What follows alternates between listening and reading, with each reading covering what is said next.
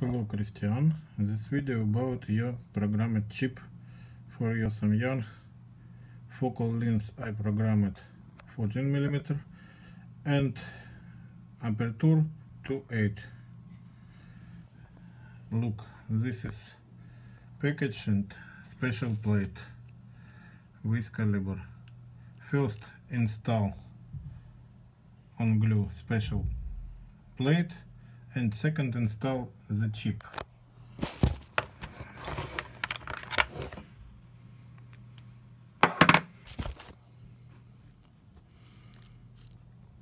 Look, this is chip, caliber and special plate. Now I package and send it to you.